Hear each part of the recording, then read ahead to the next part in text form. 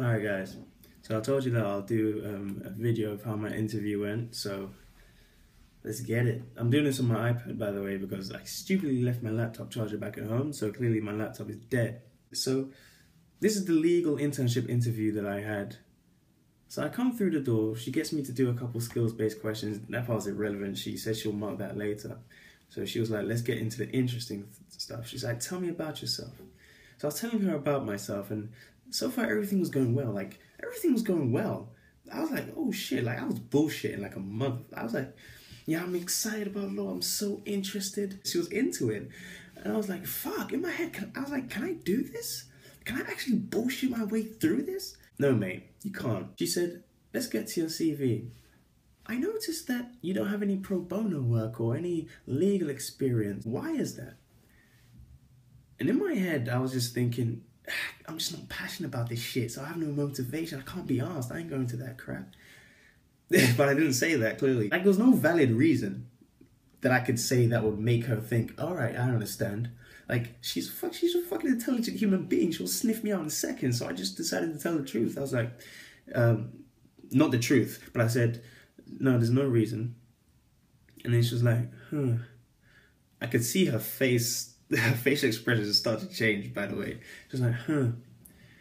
And what about Law Society events? You know, it's mandatory for your university to have events where you can attend, stuff like that. Why haven't you been to any? Again, the reason is I can't be bothered. Like, allow that. Um, there's no reason. And then she's like, you know, this shows me that you're not dedicated to this. That's not good. In my head, at that second, I thought, game over, GG no re. It was it was nice knowing you. Let me just leave because this shit ain't gonna go well, right? I was thinking, all right, time to go. Thank you for the opportunity. Man's out. But before she ended the interview, I said, you know what? Let me tell her the truth right quick. So I said, yeah, you're right. I'm not dedicated to this. Law doesn't interest me. Law doesn't excite me. And when she heard me say that, her whole vibe just changed. Her whole energy changed. Her facial expression was like that of a mad person. Like she was getting angry, it seemed like. She was like, You wasted four years of your life? Wasted is a little bit harsh. I prefer to say stolen. But she was like, You wasted four years of your life? And then she asked, who funded you? You know, when lawyers talk, if it feels like they're talking down on you, they have a certain gift, a certain talent of making you feel like shit. She's like, who funded you? I said, my mom. She said, how much? I was like, 10,000 pounds. And then she really got pissed. You wasted 10,000 pounds of your mom's money? By the way, ladies and gentlemen, let me just reiterate that I'm not rich, not by a stretch of the imagination. I told you in the earlier video, um, I'm full of shit video, which is still true, that my mum earns £20,000 a year. So she saved this £10,000 over a period of years and decided to use it for my master's. So she was like, you wasted £10,000 of your mum's money? You better pay her back. This is what she said to me. She said, you better pay her back. I was like, yeah, don't worry about that, I will. And then she said, Yeah, you talk the talk, but can you walk the walk? What? Whoa! There is no need to do that to me. But let me tell you something. When she said that, it's like my whole fucking aura just changed. It was like I just fucking released the nine tails chakra. I was like, Naruto! It was like an adrenaline rush. Like, I just was like, yeah, I, I like this shit this is the type of shit that I live for. Like, I like this back and forth right here. So this is what I said to her. She was like, yeah, you talk the talk. Can you walk the walk? By the way, this was a natural, instinctive reaction. I didn't think about this. I wasn't saying, yeah, I'm to say this. It just came out. It was so intuitive. Like, I can't explain it. Just so natural. I said, yeah, I like that chip on my shoulder. I'll see you at the finish line. What? You'll see who? Who says that in an interview?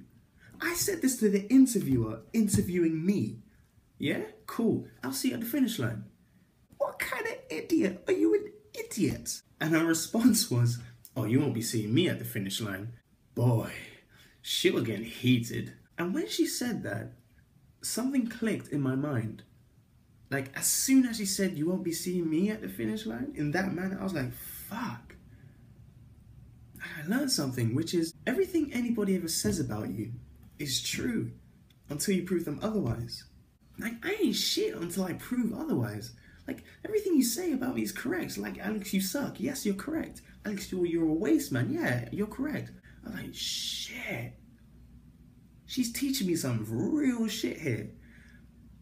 And I took that away from that. I thank her for that. Her name is Joy. Joy, I thank you. If you ever see this video, thank you for doing that. It was no longer an interview at this point, by the way. She was like really talking to me. It felt like I was talking to my relative. That's what it felt like. Like all professionalism just flew out the window.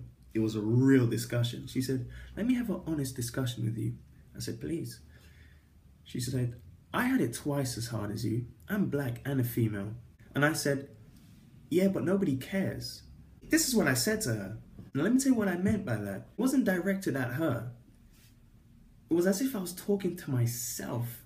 Because before GV, which is before Gary Vaynerchuk, I had a mentality of woe is me, fucking cry every time shit goes bad, complaining, dwelling. Like, I wanted sympathy. I wanted someone to put their hand on my shoulder, say, There, there, Alex, everything will be okay. Like some bitch made shit. Then I watched a Gary Vaynerchuk video where he said, Nobody gives a fuck about your feelings. And I just woke up. When I heard her say, I had it twice as hard, it took me back to the place I was. And it was as if I was talking to myself, like my current self telling my prior self, yeah, but nobody cares. She didn't take it that way. Obviously, respect because she shouldn't have. I didn't explain myself. So, of course, she would take it wrongly. Um, she was like, uh huh. I was pissing her off. And she said, How old are you? I said, I'm 22. She said, You're 22? You still don't know what you want to do? And I was like, Yeah, but I have time. She straight up looked at me and said, No, you don't. Whoa, she shattered that pretty quickly. She said, No, you don't. This is her words right now. She said, I thought I was invincible. I thought I would live till 70 until I got cancer. What? Shit was getting deep. When I heard that, I was like, oh shit.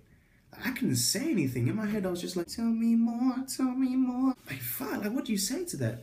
And she was implying that, yeah, everybody thinks that they have time. Everybody thinks that they're going to live to this long age until something comes along and slaps them in the face. Now, while I understand that and I respect that, and that's totally correct, I still can't espouse the mentality that life is short because usually when someone justifies life being short, they say, oh, you can die tomorrow. Like, for example, you might get hit by a car tomorrow. Yeah, well, I might not get hit by a car tomorrow.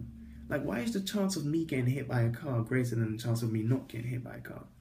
Like, it's just heads and tails. You're going with the heads, I'm going with tails. So I don't think life is short. Life can be short and life can be long. But anyway, I was I understood exactly what she was saying. So she was teaching me some valuable lessons and then she gave me advice. She said, You see this law thing? You don't need to be a solicitor. You don't need to work in a law firm. You can try other aspects. There's so many different things that law is incorporated in that you can try. And I said, Yeah, you're right. She said, I know I'm right. And then she got a little bit petty. right? Lawyers are just gifted at making you feel like an idiot. Like you can't fuck with a lawyer. Like she destroyed me. She's like, Yeah, I know you don't like law, by the way. Is that why your shirt's not ironed? I look at my shirt, I see a couple creases. but that's what happened in the interview. Like, what seemed to be a bad interview turned out really valuable. But at one point, it did feel like I was disrespecting her passion for law, her profession itself, and everybody who ever wanted to be a lawyer but couldn't because like educational resources weren't there and funding. So she really she made me feel guilty about not liking law. Anyway, that's that's the way the interview went. I'll see you at the finish line. You, it, number one, she's already at the finish line, sipping on gin and juice, and you're still fucking sucking on breast milk, little boy. Um, arigatou gozaimashita for watching this video. I had to go home and tell my mom every, everything I'm telling you in this video. I had to go home and tell my mom.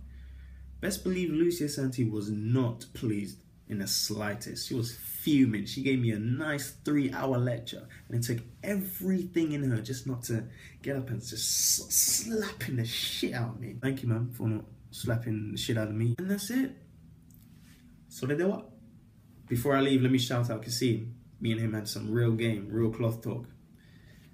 Thank you, Kasim. So they what? Matane. And I'll see you at the finish line. Fucking idiot. Fucking idiot.